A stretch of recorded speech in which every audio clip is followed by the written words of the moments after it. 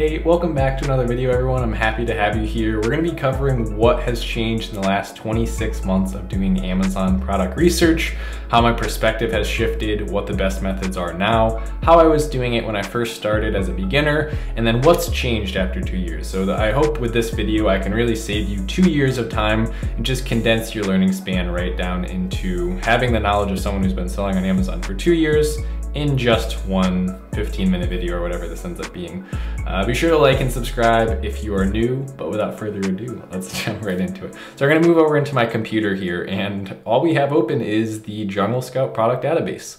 There's a very specific reason for that because we're going to be doing this chronologically. This is how I first started doing Amazon product research. Okay, so I started learning about Amazon FBA private label in the end of 2017. I was watching a lot of YouTube videos and then around tax season of 2018, the beginning of 2018, I got a tax return. I was a part-time employee at Staples. I was a certified technician selling computers there. And then I got my tax return. It was about $1,300 and I used that to start my LLC and I used the remaining amount that I was just saving up from working my um, normal job there at Staples to invest in Amazon. And one of the first things I did was I went ahead and I purchased Jungle Scout. I was watching a lot of Tanner J. Fox's videos. That's what he used. So I figured that's what I should use as well since I'm familiar with that process. And then this is really where the road starts. So let's get into it. This is my first method for doing product research and this is how I was doing it in the beginning. A lot of you still might be doing it this way now. Um, and that just goes to show how much can change and, you know, why I don't think that this is necessarily the best way to find products anymore, but this is how I was doing it again. So the way that you would do it with this is I would generally select just a few categories that I wanted to sell in. Um, I don't need too many categories, right? Just a few will do because that'll show me, you know, maybe I'm interested in just five categories here. And then within those five categories, this tool, you're basically gonna tell it to show me only products within those categories. So anything that's unclicked will not appear. Then I'll simply go over to my filters and we have a bunch of filters here and my minimum price, what I would have done back in early 2018 is I would have set a minimum price of about $14.99. And I probably would have done that because, well, that's what people were telling me to do. And then my maximum price, I would have probably put around 50. So 15 to 50 is a good range. Um, that's what I would have done back then. So again, we're, we're going over how I would have done product research back when I first started with this part of the video right now. Max reviews, of course, would have been 75. I remember this like it was just yesterday. Minimum sales would be 300. Uh, minimum revenue, uh, we're not gonna do that because you already have minimum sales, minimum monthly sales. Um, if I were to do minimum monthly revenue, I would probably do about six, $7,500, but we don't have to touch it since we've already implied a minimum monthly sales. Um, then we go over to weight. We want to max that out at one pounds. And then that's all I would do. I would simply hit search and this is gonna run through a database of products and it's gonna kick back only products that meet our criteria. So you can see any product here will have a price that's between 15 and 50. It will have reviews lower than our threshold of 75. It will have a rating, well, we didn't change rating. Um, it will have, where are the monthly sales? Monthly sales of over 300. And then revenue will just be, um, you know, directly related to what the price is multiplied by monthly sales. So I would just simply look through here, and I think my best way of describing what I was looking for was something interesting. The weirder, the better, is what my mindset was. Um, and I thought if you could find something, and I was kind of on the right track, honestly. I, didn't have quite uh, a refined skill set back then, but just summing it up like looking for something weird is exactly what I would have said back then, and that's really what I was looking for. So I didn't know exactly why I was looking for anything other than just objective data analysis not necessarily analyzing all the right things, but what I would have done is I would have clicked on something, let's say this uh, stainless steel hex bolt or something. No, that's not that interesting. But I would simply click on that, and then what you would do is you would take this product ID, uh, product listing, and we don't want to just look at one listing, we want to look at all of them, so I would go stainless steel hex lag bolt screws. That's the product. So I would then go to all departments, I would search that, and then I would begin to analyze this product for what it is. Now this is the market, this is where I want to um, Oh, that's pretty cool. Amazon does that. That's nice. I, I haven't seen that yet. New update. So I would look through here, and the first thing I would do, I wouldn't even look through there. I would just pull up Jungle Scout Chrome extension. I would have both of those running. This is my, my next go-to, and then all I would be looking for was this. 7 out of 12 under 75 reviews, 7 out of 12 over 300 in sales, and the price range should be between 15 and 50, and the brand should be not just one brand, it should be a variety of brands, and that was about it. That was really what I was looking for. And then I would go ahead and if it met that criteria, which this doesn't, I would simply move back to the web app and I would start looking again. So that's early 2018 Paul. That was what I was doing when I found my first product. Um, I actually found it with a slightly different method that we're going to be going over next. So um, this was one of the main things that got me into product research and that's my mindset then. Now, that might be where you are now. So let, let me take you and transport you to maybe one year in, okay? So let's go 14 months ago. How was I doing product research um, maybe the end of 2018 or the beginning of 2019? How did just that one year change my perspective on product research? Well, what I started to notice when you do product research for a very long time on a product database or any kind of database of products, you start to realize that, wow, I'm seeing a lot of the same ideas. okay, uh, how many times am I gonna scroll past uh, this product here before it gets old?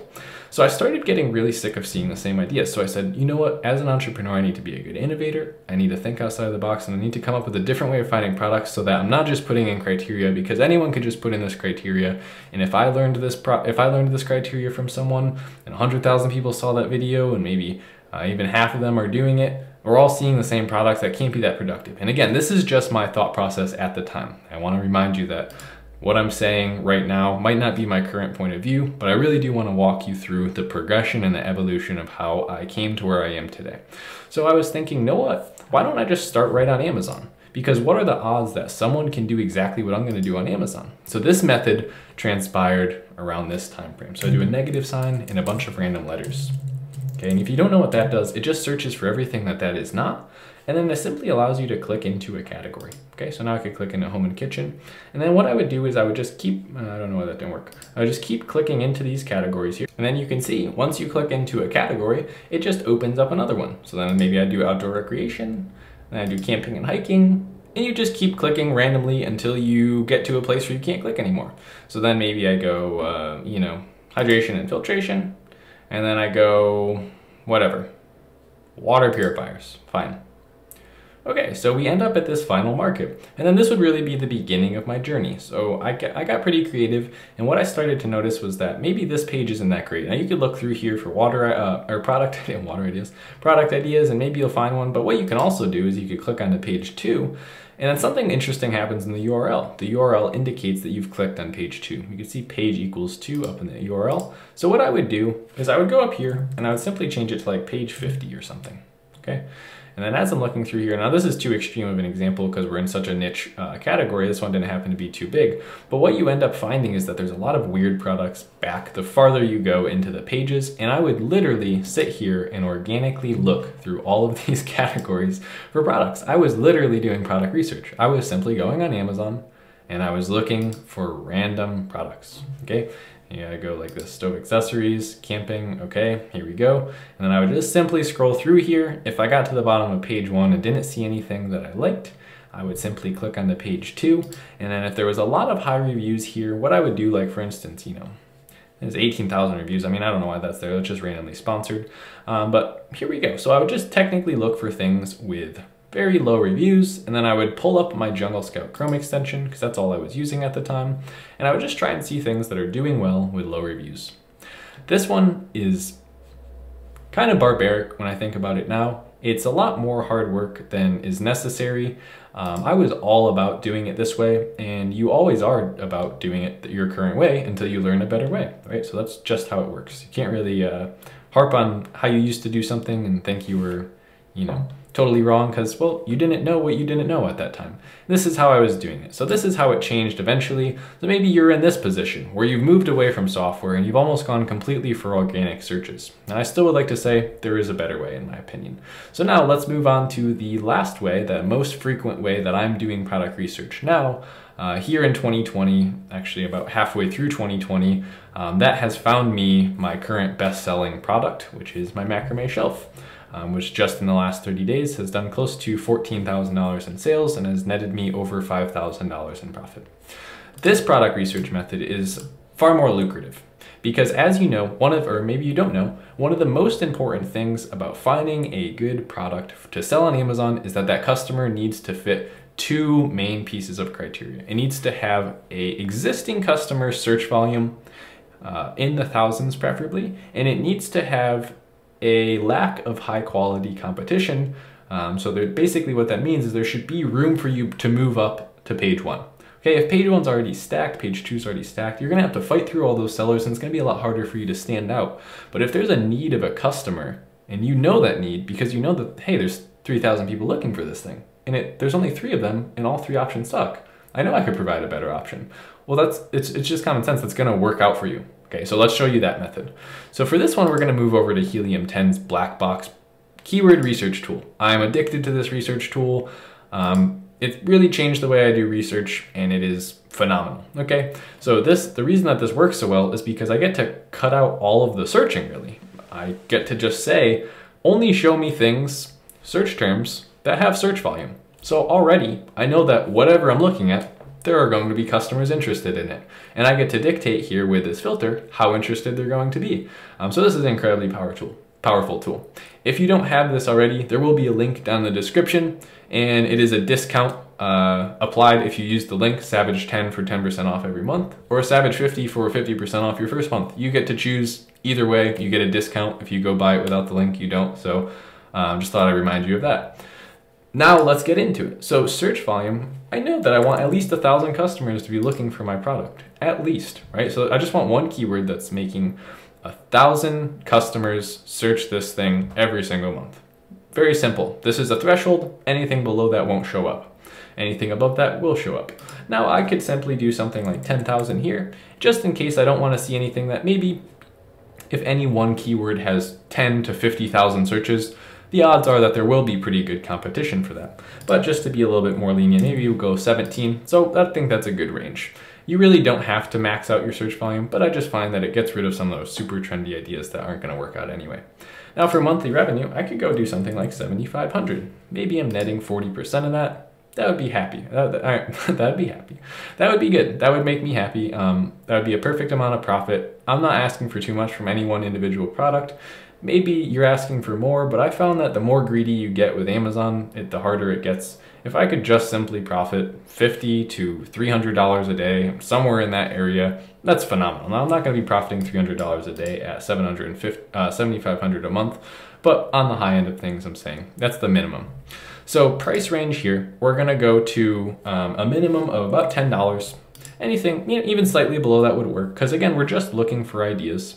If you really don't like selling low price products and you have a problem with that no problem. Go ahead and bump it up to 15 or 13 so you catch all those 14.99 products. Just know as you raise this higher and higher your cost of goods is going to go up. So if you sell a I sell a product that's actually 54.97 um, so that actually wouldn't be included in here but I'm at the premium option in my market and that might not be great uh, option for a person who's just starting to sell on Amazon. It's rather expensive product and it is, you know, you probably need existing cash flow to fund things like that. So review count, we're gonna go ahead and do a maximum of 100 reviews. Just wanna see on average that whatever is being searched, the results that are yielded have under 100 reviews. That means that if I come in with 10 or 20 reviews, there might be sellers like me, so it won't be weird for me to collect sales if everyone already has within that range. I don't seem like an outlier anymore. Then we can move over to word count. We'll go two to seven. And all that means is that there's going to be, for instance, macrame shelf is two words, mobile game controller is three words, anywhere from two to seven. Anything under two words, just one word, it's very hard to get to an exact product. You end up more like searching for markets. Now, just like the product database by Jungle Scout, we have an option to select categories here. So I'm just gonna select a couple that I like to sell in, mainly where I'm focused on building brands. Do something like patio, lawn, and garden, industrial, scientific, maybe tools and home improvement, um, some home and kitchen, and some arts, crafts, and sewing.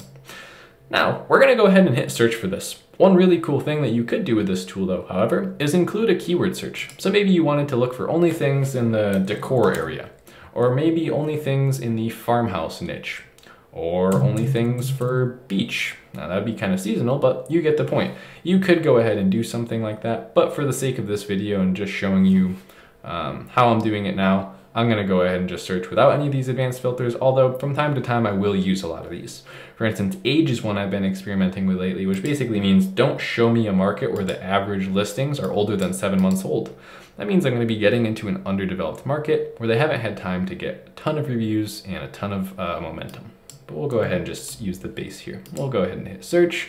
And what this is gonna do, you might notice it'll just show us product names, um, or really even Search terms. They might not even equate to one specific product. They're going to be search terms that have over 1,000 search volume. See how that works? So all we're gonna do is we're gonna simply look through here and then instead of looking for product ideas and individual ASINs, we're looking for entire markets. And the reason that this is so cool is because I already know that I need customer search volume. So I'm just taking a little bit of the work off of my shoulders. Uh, if I already know that what I'm looking at must have at least a thousand searches, I already know that there's an existing customer base to sell to, and my only job becomes simply looking through here um, and then moving on to see my next criteria, which we'll be getting into. So wire mesh roll, it has 1700 searches per month.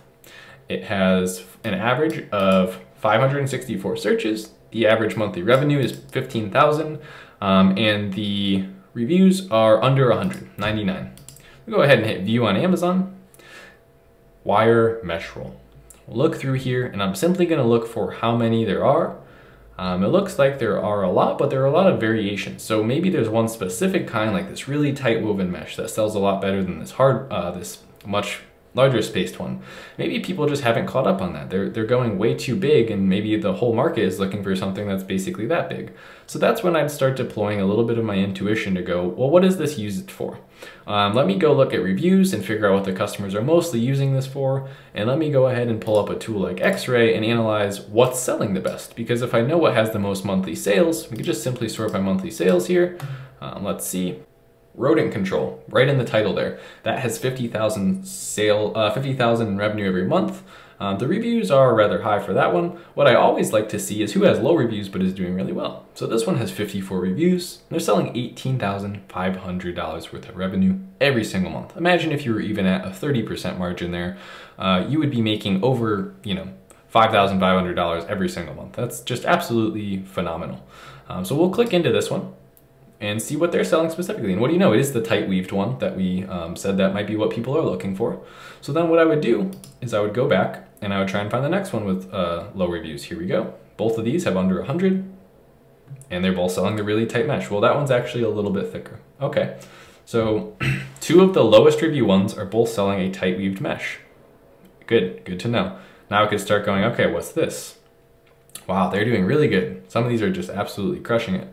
So we've stumbled upon something that looks rather good here. The only thing I'd say is this probably is seasonal. Um, I'd have to say that something like rodent control or uh, mesh for gardening is probably going to sell only good for part of the year. What you can do to check that is just simply open up something like a all-time sales chart by Helium 10 here by clicking on the sales graph and it'll show you when the sales are the highest. So in this case, they all seem to be trending up in the right direction. I don't think at any point of the year it's necessarily too low. Um, and that one was for this one here. Um, let's maybe go to our friend down here who only has 54 reviews who's doing so well. We'll click on his graph, see when he started selling, or she. So it looks like they sell, started selling just at the end of this last year.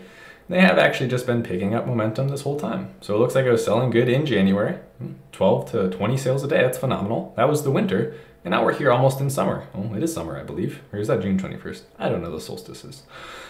Uh, so they're selling fantastic. They're up trending. It's going great. I would go do that and a couple more. Then I'd also want to see that there's just a lack of overall competition for one specific style. So maybe I see this copper one. What's up with the copper one? I only see that showing up once or twice. Is that something that someone's looking for? I know that this one was doing like, you know, well over uh, 50,000 in revenue. Why isn't there more copper ones? So those are just simply questions I start asking myself. Notice all of my research and all of my analysis at this stage is geared towards the customer, not the competitor. We started with customer search volume. We started analyzing based on how many customers are buying what. We started making decisions based on reviews. Uh, we didn't look at any, but that was a recommendation of mine. We started looking at what are, um, what are key features of each products that a lot of the bestsellers have in common. Okay, so what I would recommend is that you go ahead and give this version a try now, I'm not saying that the other versions of product research don't work, but I just wanted to give you a, a good idea of how I've developed as an Amazon seller and how I've developed as uh, you know an entrepreneur pursuing physical product sales and of course needing to research those sales in advance before I go ahead and make an investment. Hopefully this video was valuable to you and you be sure to like and subscribe. Um, if you didn't like it, that's okay. dislike and unsubscribe. Um, but anyway, that's gonna do it for today's video. Be sure to comment down below what your favorite product research method is, just to give me an idea of how you guys are doing product research. And other than that, I'll be seeing you here on the channel tomorrow for another video. Thanks so much. Later.